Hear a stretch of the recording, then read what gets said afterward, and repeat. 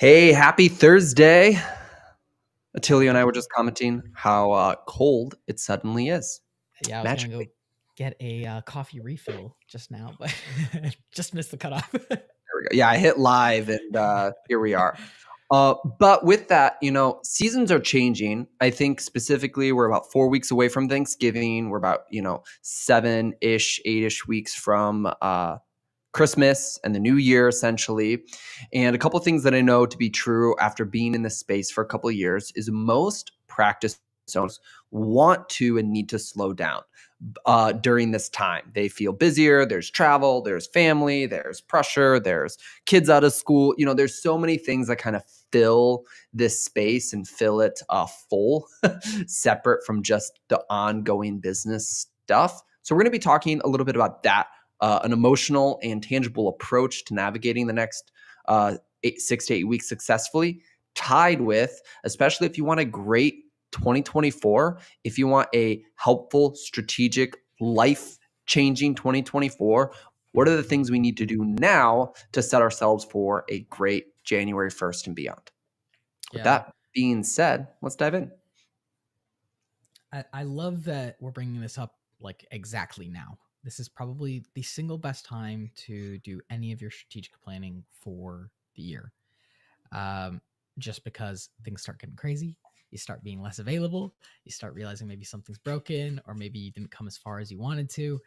Um, and and I think that this is also the time when um, you get to kind of realize whether your data is maybe in place whether as you're sort of making some of these decisions hey can you even make these decisions with data? Can you make these decisions with uh, the information that you have at present?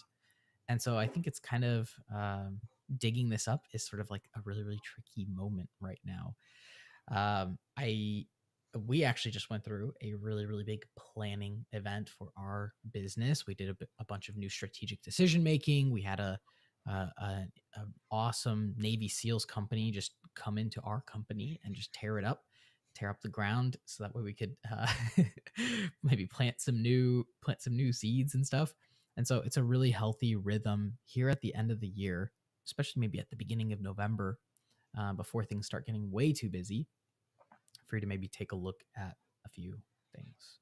Yeah, I think number one is time is arbitrary when it comes to strategic planning.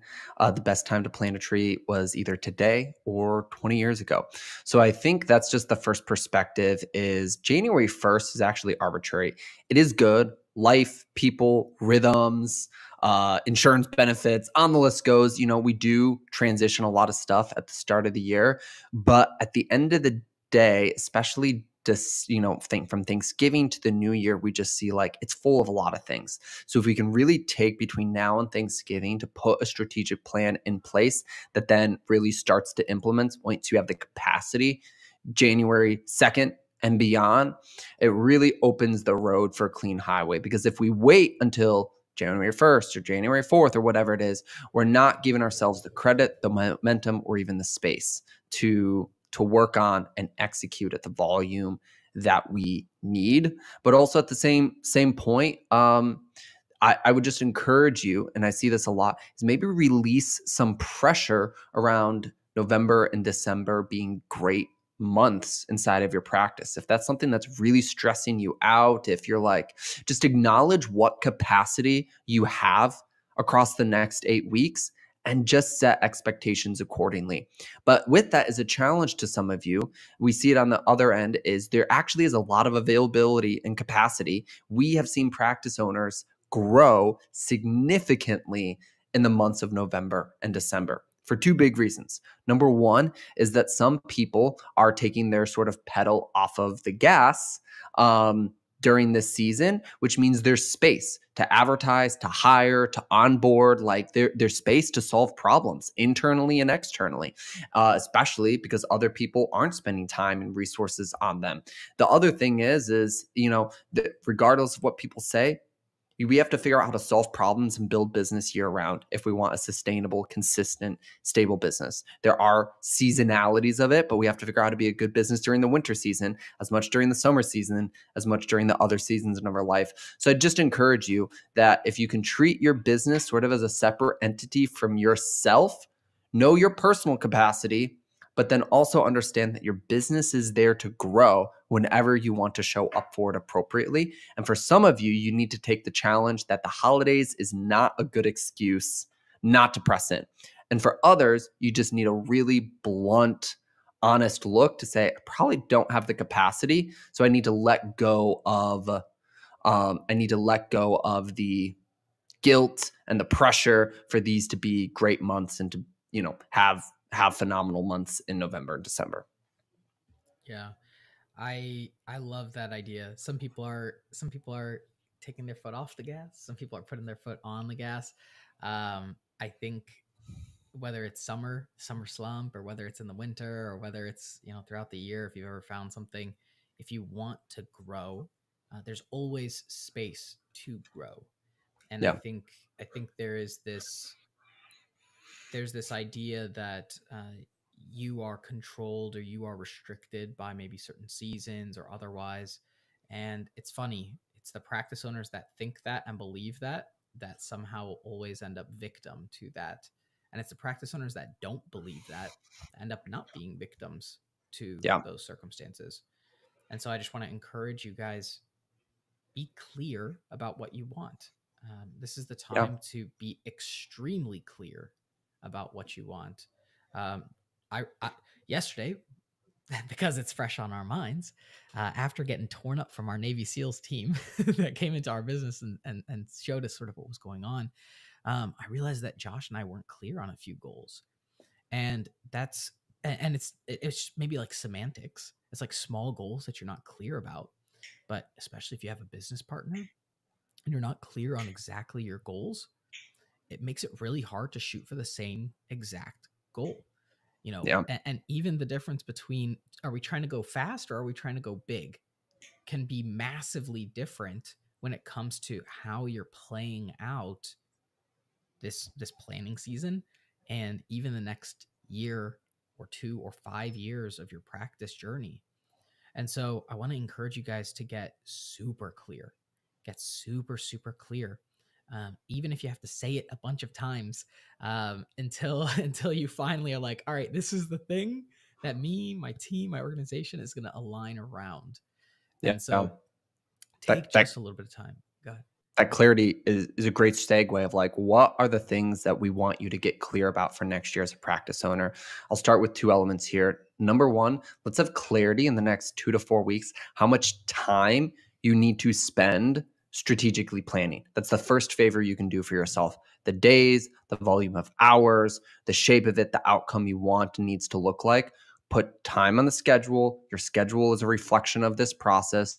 Do you need a half a day planning with yourself and your team? Do you need multiple days of planning? Have you ever done true, great strategic planning before? Maybe do you need help? Do you need a facilitator? Do you need a roadmap for what is possible? Ask yourself, what do you need and how much time do I need to set aside? Because if you just like, yeah, I know I need to strategically plan, but you don't have clarity on how much time you want to set aside to give it and do it, well, that's that's not going to go as well as we want.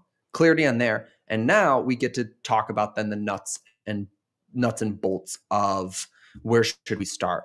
I think, you know, the advice that was even given to us yesterday that was really helpful. If we suspend belief on how we're going to accomplish it, or if we're currently even on the trajectory to accomplish a certain goal, if you could accomplish anything by the end of 2024, what would that be?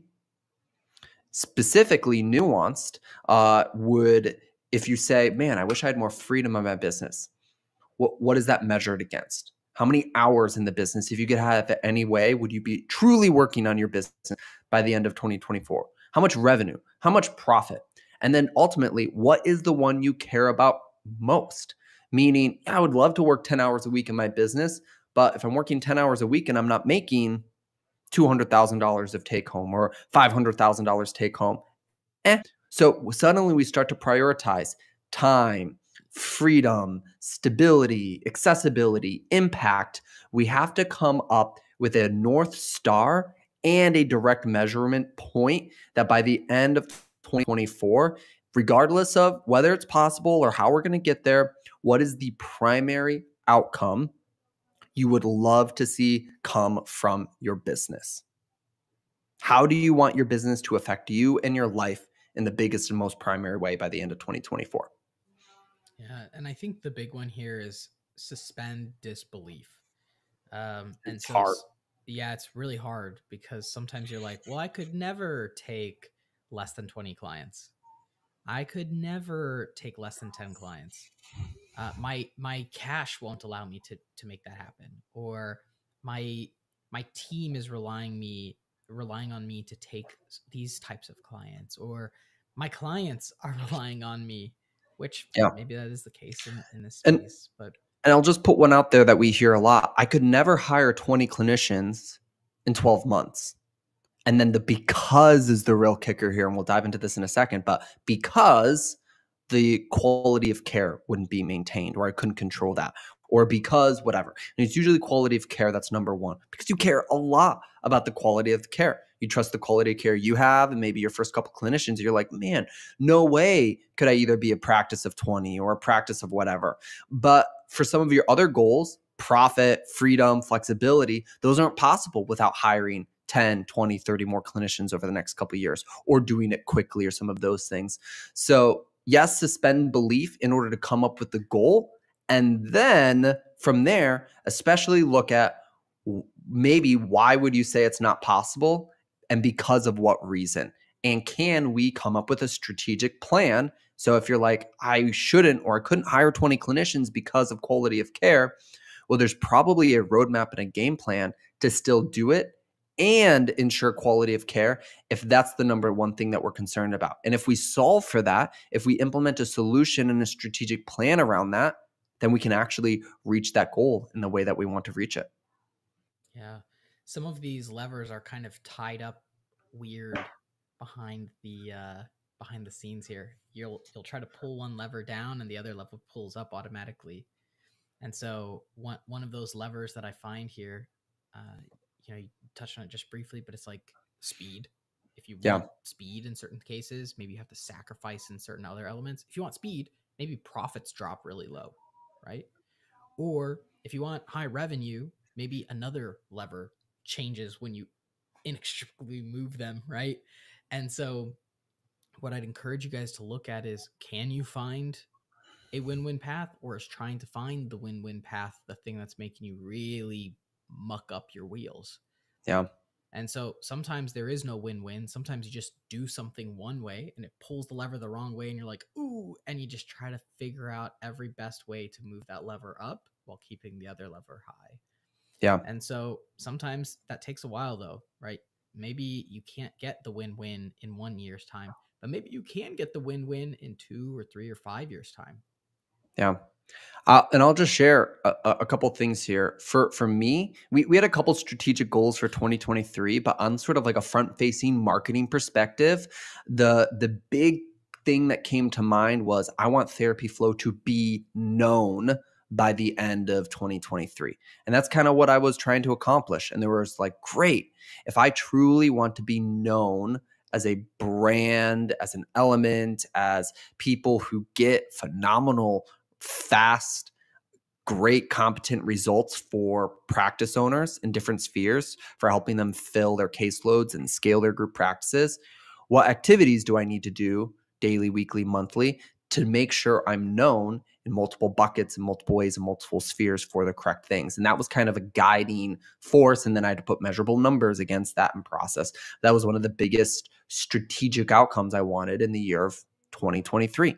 Uh, and and so a couple other questions as you guys think about what you want out of or from or to accomplish within your business. Uh, you know, what's your dream revenue for next year? Uh, what's your ideal practice size? How many clinicians would be on your team in, in a perfect world, right? How many hours a week are you working by the end of 2024? How much is your take home profit, which is different than revenue, right? What new things do you want to start doing? And what things do you need to stop doing next year? Uh, who do you need to hire to reach your goals? What's going to get in the way? What are you ignoring in your business or about yourself that you don't want to admit or you don't want to look at that you should look at next year? And what changes need to be made to your calendar to the reflect the business you want to see? And that's the last one that I'll that I'll end on is I have been shocked at the amount of times that I've had to go and essentially throw my calendar in the trash and rebuild it from scratch in order to reflect the new business that I want to build. And your calendar leads your outcomes. And I truly believe that because what you spend your time on is what's going to show show up. And so if you have a caseload of, of 30 plus sessions, but you're saying, hey, I really want to manage a, a big, large practice, your calendar probably needs to shift because someone who manages a 30 person practice typically is not doing 30 clinical sessions a week and vice and from there. Same with like man if i want a really great strategic plan for 2024 i have to change my calendar over the next four four to six weeks to reflect the time needed to put in to build a strategic plan. So it's just my encouragement for you. Attilio and i are constantly having to ask the question does my calendar give me the needed time and space to accomplish the largest priorities that I actually have for the business? And then I have to do the hard work typically, moving appointments, canceling things, changing rhythms to get the new reflection of what should fill it up. Guys, good luck with this. It's really, really hard to do this. Yeah. I wish that it was easy, but new year, new me, right? You've got something on your side. Jan January 1st, you can be anything new. You can be anything different here. And um and if you let it, right? Yep. Jan 1, you could be completely new and completely different if you let it. Two last quick things. Number 1 is close the chapter, close the book, close whatever analogy you want on 2023. Don't let yourself perpetually be in the same state. Create some sort of cyclical rhythm around how you approach and push into your business. What happened in 2023 happened in 2023. Close it, shut it down, complete the feedback loop, look at what happened, and set the trajectory, reset the trajectory for the new year. And you'll have open availability to create a new loop in 2024. And lastly, this is one of the things that we're doing really heavily, uh, exclusively kind of one to one with a lot of, especially our group practices right now. Uh, and over the next four to four to eight weeks, we have some processes and other things set up. So if you want some more direct help in terms of setting a more executable plan for next year, shoot us a message, reach out, leave a comment. Uh, we'd love to chat about getting you the resources and providing the insights needed to help you go to the next level. We'll see you guys. Okay.